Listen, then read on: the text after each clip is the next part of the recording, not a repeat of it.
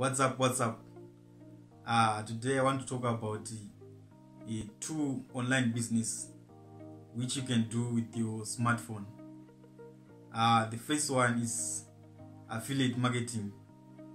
affiliate marketing is all about uh, selling goods on commission uh, what you need to do is to just take uh, good pictures or videos of certain products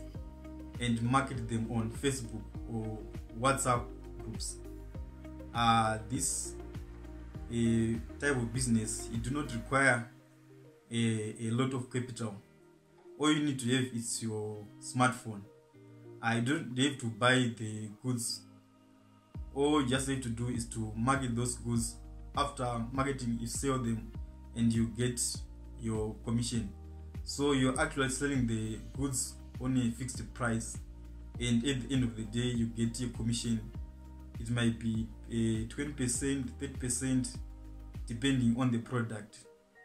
uh, the other type of business you can do online using your smartphone is drop shipping uh, here you are actually uh, promoting someone's business uh, promoting someone's products uh, and at end you put your profit or markup on top of his selling price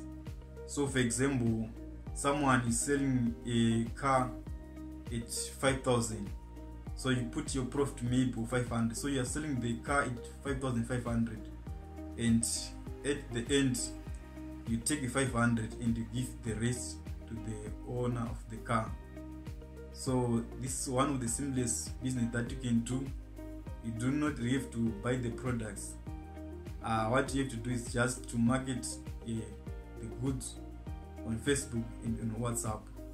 you can do it anywhere anytime all you need to have is your smartphone and data and you are good to go thank you for watching our video don't forget to subscribe like and share thank you